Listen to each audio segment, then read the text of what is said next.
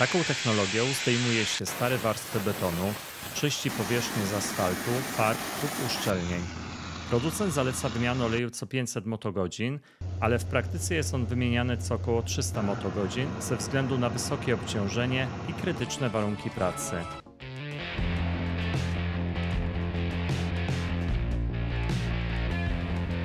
Witajcie w kolejnym odcinku na kanale R2D. Tym razem będzie naprawdę oryginalnie. Po raz pierwszy testujemy próbkę oleju nie z samochodu osobowego, lecz z przemysłowego agregatu wysokociśnieniowego, który pracuje w technologii UHP, czyli Ultra High Pressure. Będzie to zatem eksperyment zupełnie innej kategorii, który może zainteresować nie tylko kierowców, ale też inżynierów, operatorów maszyn czy pasjonatów technologii.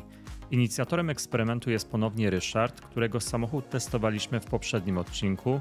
Laguna Trójka z silnikiem 2.0 DCI oraz olejem Aral Supertronic K5W30.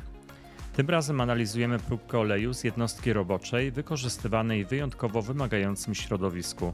Czym jest testowany silnik? To jednostka przemysłowa o pojemności 5,13 litra, czterocylindrowa o mocy 215 koni mechanicznych i maksymalnym momencie obrotowym 910 Nm.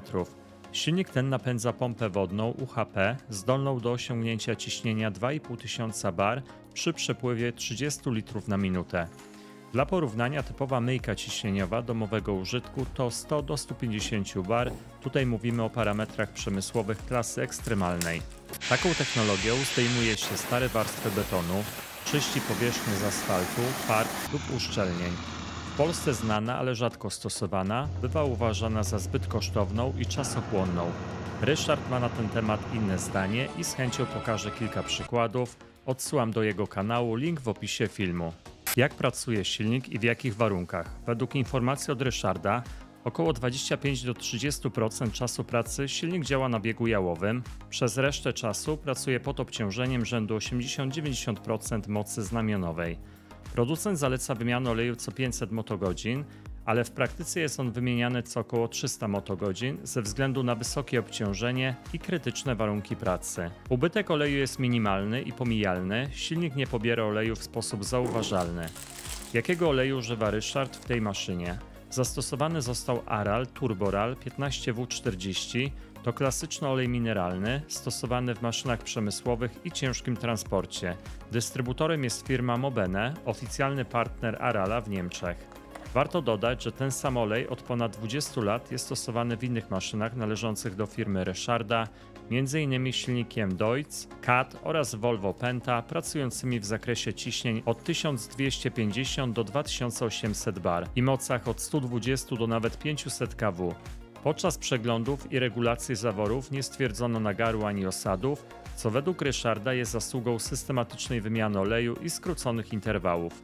Pukanek nie stosowano nigdy, bo jak sam pisze, regularna wymiana i skrócone interwały są w zupełności wystarczające. W ramach doprecyzowania, czego będzie dotyczył prezentowany test.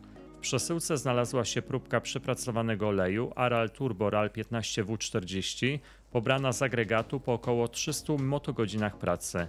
Diagnostyka laboratoryjna obejmie pomiar lepkości w dwóch temperaturach, test bibułowy oraz analizę widma w podczerwieni FTIR. Pytania na ten odcinek. Czy klasyczny olej przemysłowy poradzi sobie w tak ekstremalnych warunkach? Czy podczerwień zdradzi coś o sposobie jego degradacji? Zapraszam do wspólnego eksperymentowania. Przechodzimy teraz do tej części odcinka, w której prezentuję podstawowe informacje o maszynie, użytkowniku, zastosowanym oleju oraz sposobie eksploatacji. Na ekranie macie pełną tabelę, widać tam szczegóły dotyczące samej maszyny, czyli marka, model, parametry silnika, rodzaj wtrysku, czy obecność filtra cząstek stałych i ogólny przebieg. W drugiej kolejności widzimy podstawowe informacje o właścicielu i jego podejściu do serwisowania, gdzie mieszka, jak często stara się wymieniać olej i czy przy tym bierze pod uwagę nie tylko przebieg, ale też czas, czyli liczbę miesięcy. W kolejnej części tabeli znajdziecie dane dotyczące samego oleju, Zapisane są tam klasy lepkości i jakości, ewentualne aprobaty producentów samochodów, no i to, czy do tego oleju był dodawany jakiś dodatkowy preparat. Następnie mamy blok poświęcony typowej eksploatacji w trakcie tego interwału. Widzimy tam m.in. ile miesięcy olej spędził w silniku i czy przed wymianą była robiona jakaś płukanka. To tyle w tym naszym stałym technicznym segmencie. Dzięki temu mamy już pełny kontekst, wiemy jaki olej został użyty, w jakich warunkach pracował i co zaleca producent. Dzięki temu łatwiej będzie później zinterpretować wyniki badań, które za chwilę Wam pokażę. Przechodzimy do badań laboratoryjnych. Najpierw pomiar oleju świeżego, w drugiej kolejności próbka oleju przepracowanego. W tle podczerwień zapraszam do wspólnego eksperymentowania.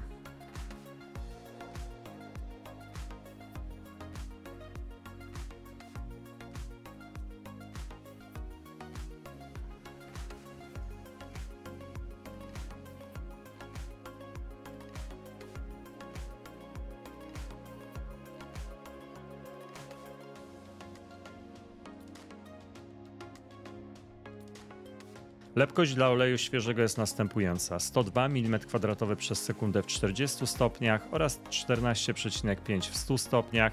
Wskaźnik lepkości wynosi 147. Porównujemy ten wynik z deklaracją producenta, obserwujemy zgodność na umiarkowanym poziomie, szczególnie w odniesieniu do lepkości w niższej temperaturze. Zmierzone wartości są około 7% niższe od deklaracji, lepkość w wyższej temperaturze bez większych zastrzeżeń. Przechodzimy do pomiaru lepkości oleju przepracowanego. Zapraszam.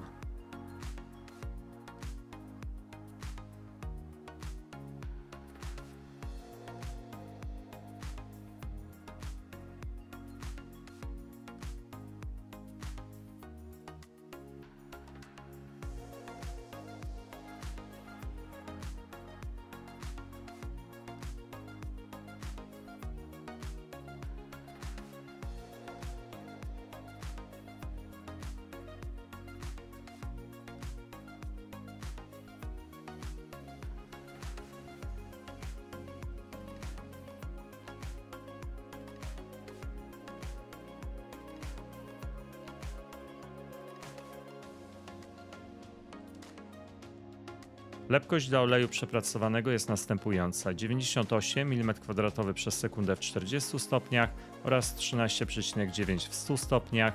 Wskaźnik lepkości wynosi 143.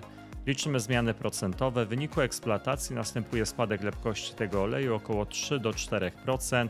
Z punktu widzenia charakterystyki lepkościowej sytuacja wygląda bardzo dobrze, nie ma żadnych niepokojących sygnałów.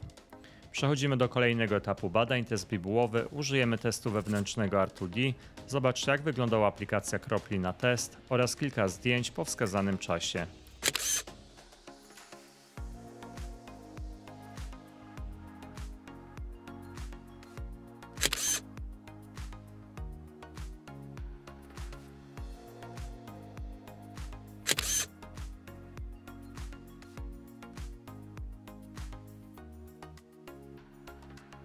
Oglądamy plamę z różnej perspektywy. Jakie wnioski? Bardzo ciemna plama, mocno zamaskowana przez sadzę. To efekt pracy pod wysokim, stałym obciążeniem w agregacie UHP. W porównaniu z olejem z samochodu osobowego, plama po lewej, wyraźnie wyższe zabrudzenie mimo skróconego interwału. Przechodzimy do podczerwieni. Rejestrujemy widma, przyglądamy się otrzymanym wynikom, porównujemy widmo oleju świeżego z widmem dla oleju przepracowanego, Następnie generujemy widmo różnicowe, żeby sprawdzić w jakim stopniu olej zdegradował z punktu widzenia zmian parametrów chemicznych.